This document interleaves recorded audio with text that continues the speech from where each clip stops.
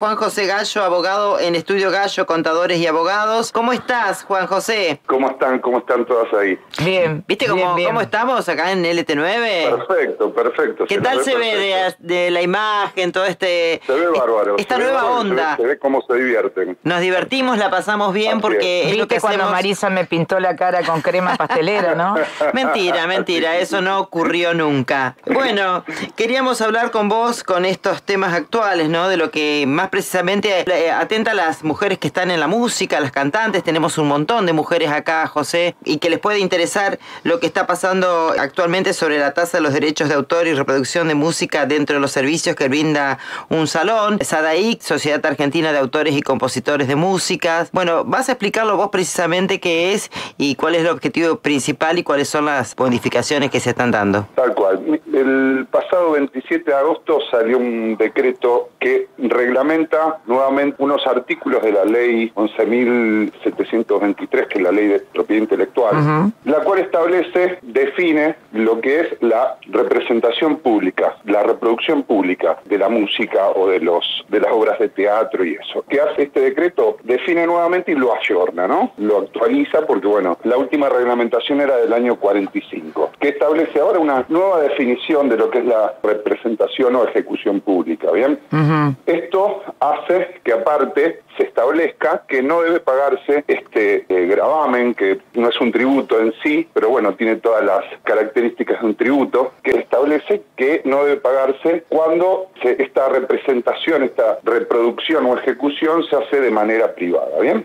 Eso es lo que establece este... Aclaremos, este Juan, que esto tiene que ver con que la duda surge desde las mismas familias que tienen organizados casamientos, cumpleaños, alguna fiesta privada en un salón de eventos y no saben si pagar o no pagar este impuesto que es el SADAI, Gadicapif y demás. Entonces, es toda una historia porque ya tienen un contrato hecho con un espacio y no saben qué hacer. Claro, es que de parte de SADAIC lo que eh, plantean es que la redacción es confusa porque no define qué es el ámbito privado y que ellos tienen derecho, porque también establece el mismo decreto, que los artistas, en este caso, tienen derecho a percibir un ingreso por la reproducción de su, de propiedad intelectual, de, su, de su obra, sea musical, sea teatral. Entonces, SADAIC, en este caso, establece que aún deben percibir este gravamen, este pago que tiene que hacer el salón de música, el artista o, o quien sea que tenga que reproducirlo. Entonces,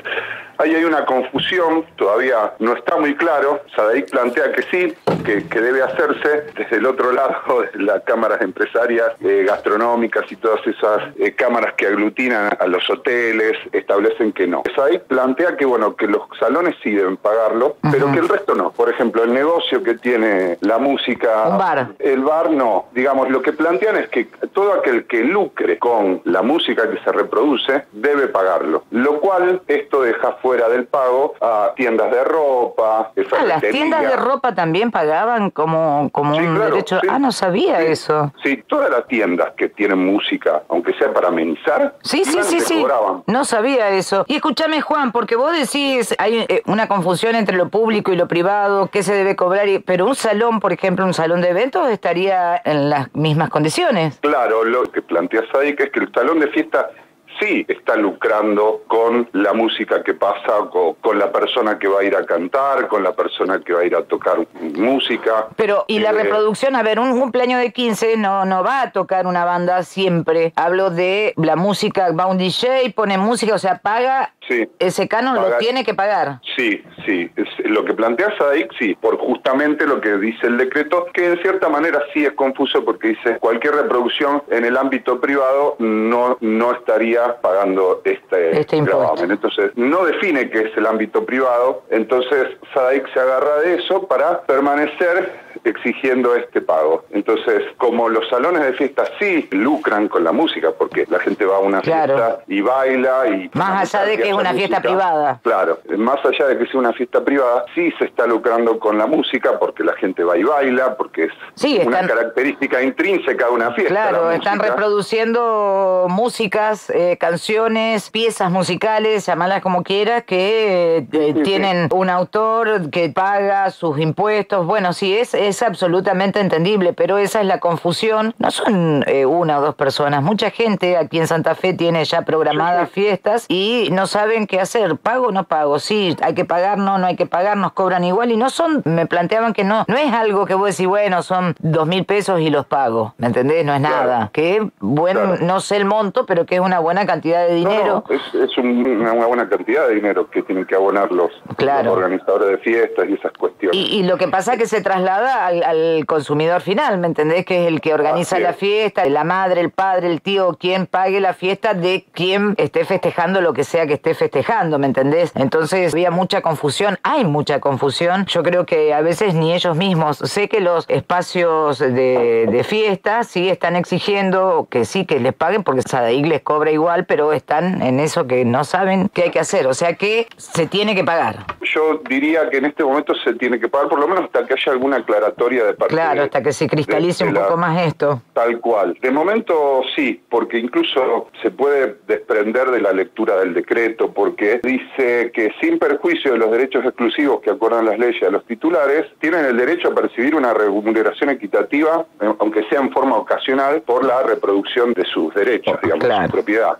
Entonces, yo intuyo que esto va a permanecer de esta manera para los salones, pero bueno, hay mucha gente que con este decreto deja de abonarlo, que hace tiendas, kioscos, tienda de ropa, ferretería, una clínica que por ahí tiene música suave por ahí en la, en la sala de espera. Bueno, mucha gente que antes lo pagaba y que se le exigía que lo pague, bueno, esa gente va a dejar de abonarlo. Y por lo que veo y por lo que plantea Sadaik, esto deberá seguir siendo abonado por salones de fiesta, organizadores de, eventos. De eventos y demás. Bueno, ¿y algún tipo de... Esto te lo pregunto porque no tiene nada que ver con esto, o sí, pero vos sos especialista en esto, ¿alguna cuestión con el tema registro, alguna modificación, tema registro de marcas y demás? Eh, de momento no, hay, no hay. Eh, la verdad que el gobierno está planteando una serie de cambios que van muy rápido, eh, pero por ahora todo lo que es propiedad intelectual no es mucho lo que se ha cambiado, sigue todo como estaba antes. Este es el primer cambio que hubo en cuanto a lo que es propiedad intelectual. Que inclusive no es un cambio a nivel legislativo, sino que es a nivel reglamentario. No es un cambio que fue por una ley, sino que es un cambio en la ejecución de esa ley. Así que de momento estamos como antes y esperemos que siga así por lo menos para poder